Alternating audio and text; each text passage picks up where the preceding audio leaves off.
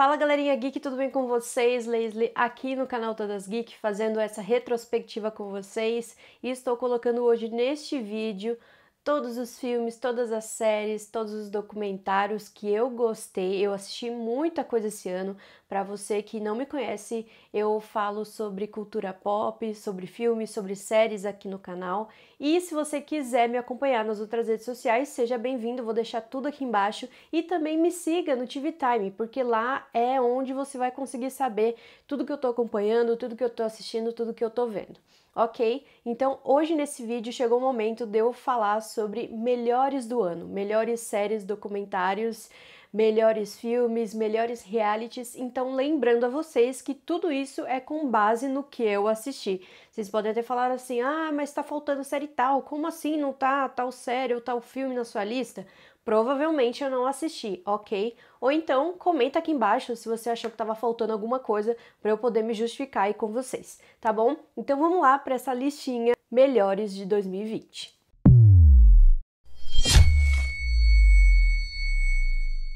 Eu vou começar aqui com séries, documentais ou reality shows. Eu assisti bastante, vocês sabem que eu gosto bastante de reality shows, então eu vou ditar aqui cinco para vocês, as cinco melhores do ano que eu assisti, tá bom? Primeiro de tudo, já vou explicar para vocês que não tem ordem, tá? Do que eu mais gostei. Pode ser que alguns eu fale, ah, esse sim eu mais gostei, mas não tem ordem, tá bom? Então, vou começar falando de séries documentais e envolvendo reality show. E o primeiro é The Circle. Teve três versões esse ano: Estados Unidos, França, Brasil e, cara, eu já fiz vídeo dos três aqui no canal, então eu gosto muito desse reality, eu espero muito assistir os próximos do ano que vem.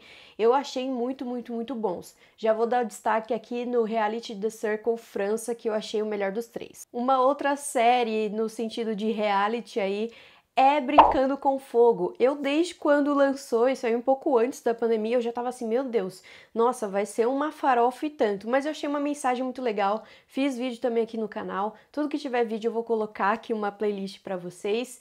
E eu gosto muito. Se você ainda tá com dúvida no que assistir, começar o ano assistindo, coloca Brincando com Fogo, porque é um reality, assim, bem legal. E Song Exploder, ou Por Trás daquele Som, é um reality show que fala sobre as histórias por trás de composições muito famosas. Então, teve duas temporadas esse ano, olha, duas partes, e é muito legal para você que gosta de música, para você que ama música, assista, porque você vai ver bastidores de Dua Lipa, bastidores de Hamilton, bastidores de Alicia Keys, então acho que você vai gostar se você realmente gosta de música. Um outro também é Voice of Fire, que é uma série documental, aí sim, né, série documental musical produzida pelo Pharrell Williams que é gospel, assim, as novas vozes do gospel, que foi a tradução que teve aqui no Brasil. Eu gostei muito desse documentário porque eu sou muito fã de música gospel, sou muito fã do Pharrell então, para você que gosta e entende sobre divisão de vozes, tá aí uma série documental barra reality que vocês vão gostar. E a série Amorzinho, que eu me surpreendi muito, já falei também aqui no canal, que é a série documental Nossa História de Sandy Júnior. Sim, temos produção brasileira. Para mim, acho que de todas essas foi a que eu chorei realmente assistindo, porque é muito bonito você ver uma história dos dois, como que foi essa volta dos dois, como que foi todo o projeto do Nossa História, do DVD, da volta deles, então é muito significativo para você que gosta. Fechamos então as cinco melhores produções de séries documentais barra reality que eu assisti esse ano, tá bom? Assisti muito mais, mas eu tive que classificar cinco aqui para vocês. Agora vamos então para os filmes. E mais uma vez, eu preciso dar uma ressalva aqui para vocês. Eu fui fazendo essa lista e percebi que assisti muito mais séries do que filmes. Então pode ser que você fale assim: "Nossa, mas você não assistiu tal filme?" Provavelmente eu não assisti. Comenta aqui embaixo, depois eu vejo se eu assisti ou não.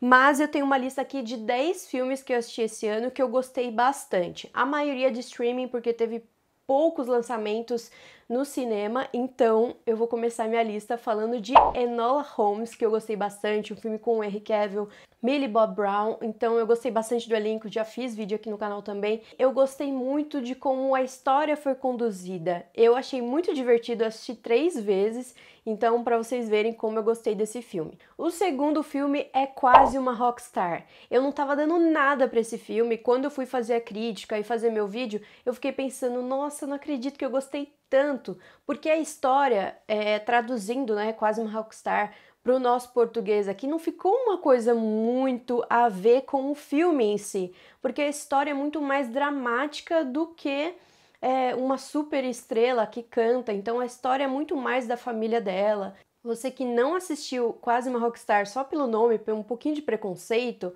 assista, coloca esse filme aí na sua lista porque você vai gostar. Eu chorei um pouquinho, viu? Aí temos um outro filme. Muita gente não gostou, mas muita gente gostou, assim como eu, que foi A Barraca do Beijo 2.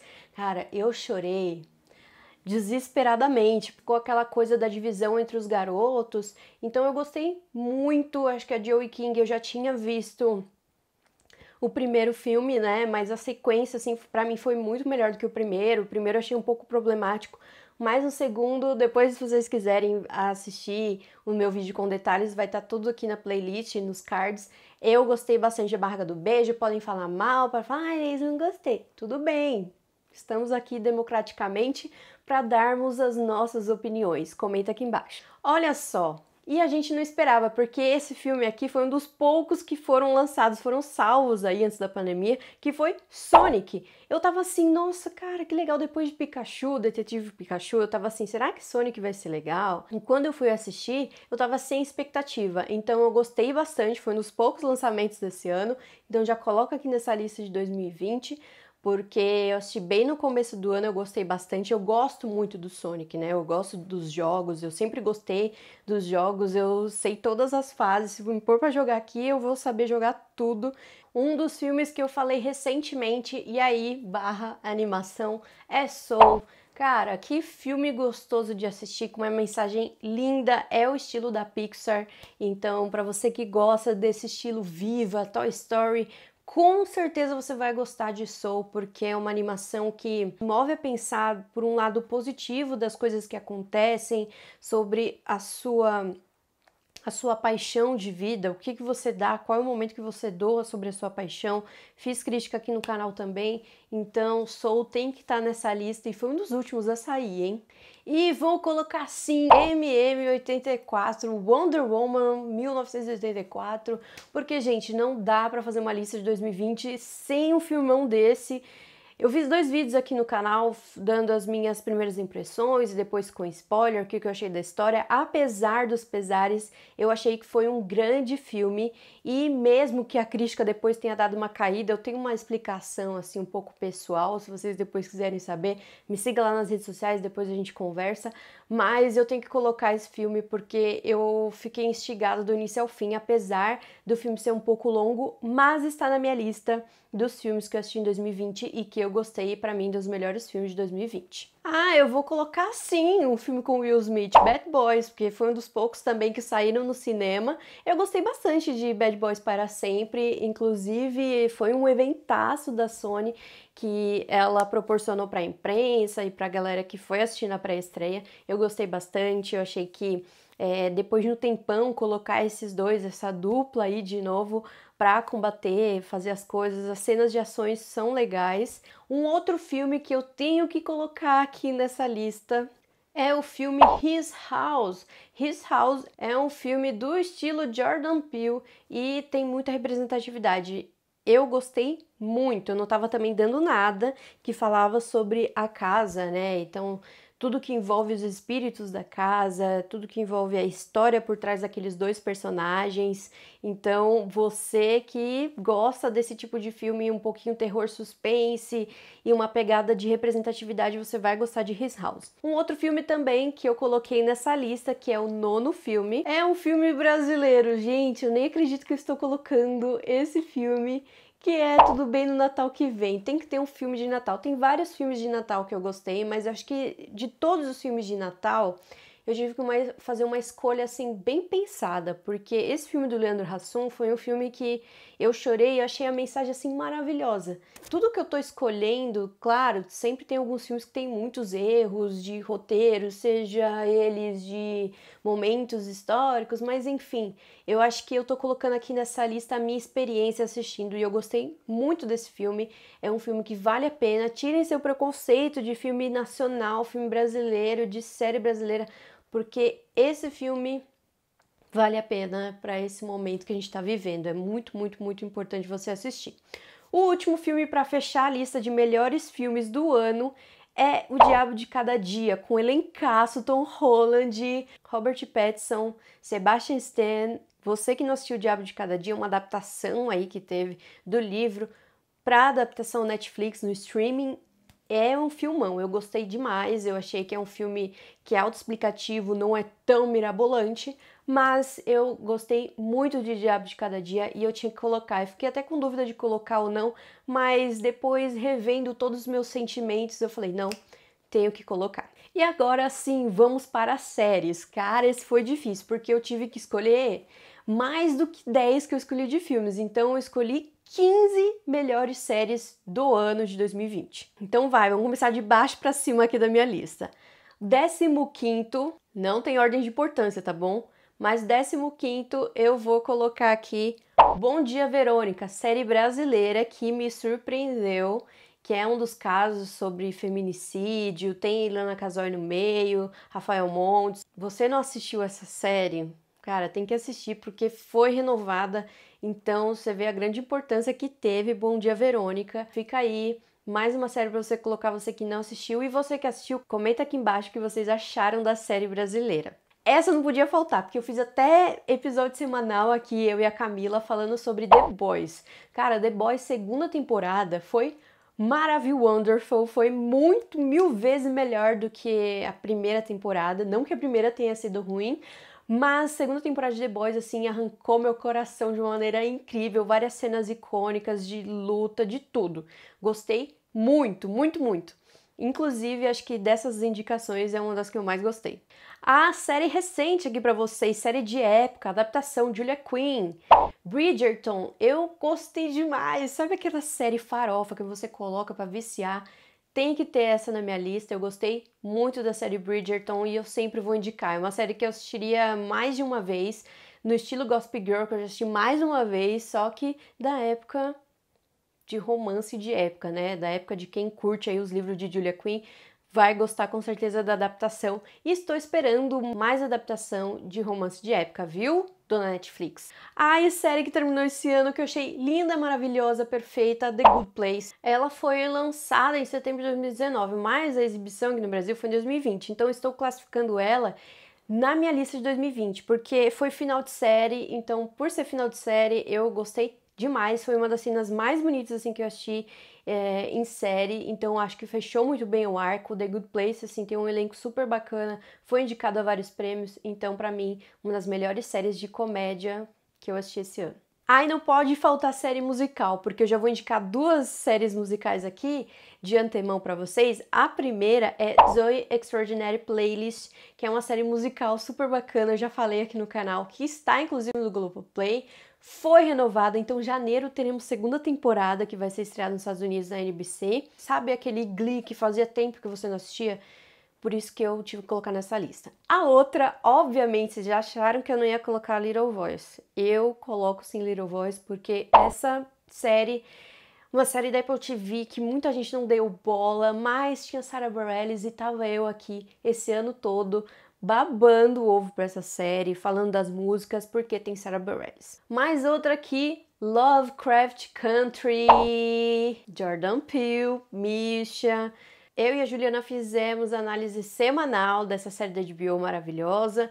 Teve uns poréns, mas não dá para tirar da lista porque assim, de termos técnicos, de termos de história, é muito boa série, então Lovecraft tem que estar tá nessa lista. Uma outra que também fizemos Análise semanal, eu e Juliana Brito, foi Expresso do Amanhã, que já foi renovada para a segunda temporada, já foi anunciada para 2021, dia 26 de janeiro. E já tô anunciando aqui, tá bom? Vamos fazer análise semanal, a gente explica mais tarde aí no decorrer desse final de ano, tá bom? Até dia 26 a gente anuncia certinho como que vai ser esse esquema de análise semanal, eu e a Ju. Vocês acharam que não ia ter The Umbrella Academy? Segunda temporada foi perfeita, gente, perfeita demais. Meu Klaus sempre vivão, Five também vivão. É, acho que The Umbrella Academy assim superou minhas expectativas. Eu gostei demais, esperando a esperando aí a próxima temporada porque tem muita coisa ainda para resolver. Série Amorzinho, Farofinha, Eu Nunca, com grandes representatividades, tem que ter nessa lista de 2020. Foi renovada também. Eu acho que essa série foi uma das séries que mais me surpreendeu pelo estilo da série. Tem muitas características, muitas referências de cultura pop. Então, você que não deu chance ainda para assistir, assistam. Ah, e antes que me perguntam, Love 21 eu não assisti, tá bom? Então, não coloquei na lista, mas provavelmente se eu assistir eu vou gostar.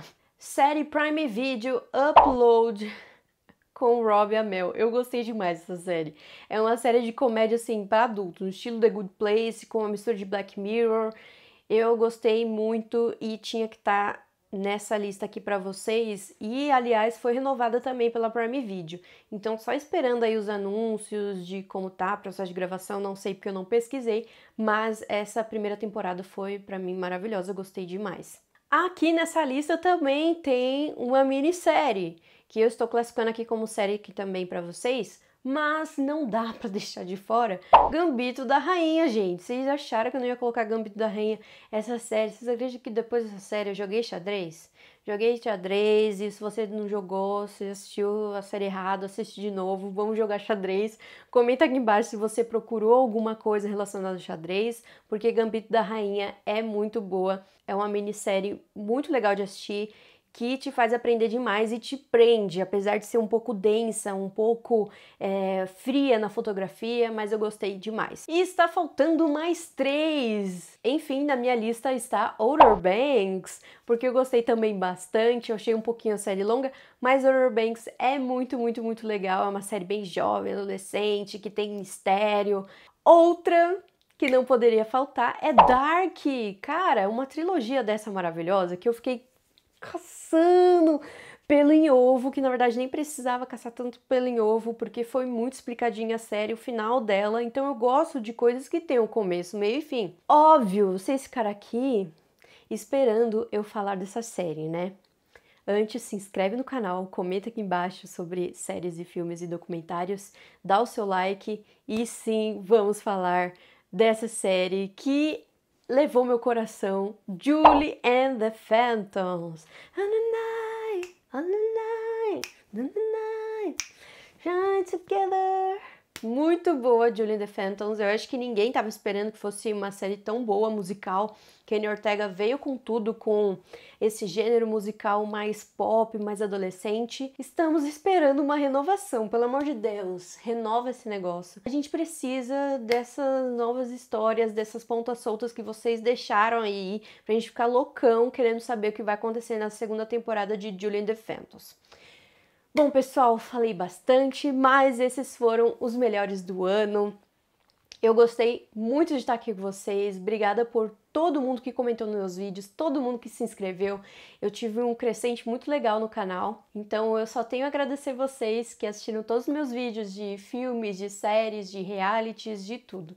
Obrigada mesmo por tudo. Comente aqui embaixo e vamos passar um melhor ano aí, que vocês tenham uma vida mais próspera tudo de bom para vocês. Ainda tem vídeo no canal para sair, mais um, mas eu já deixo aqui o meu abraço, um feliz Natal atrasado e um feliz ano novo adiantado.